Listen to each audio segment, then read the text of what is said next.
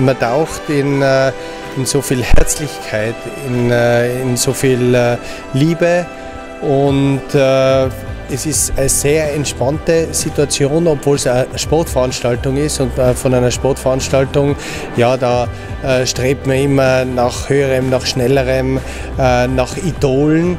Und da geht es um die reine Sportkultur.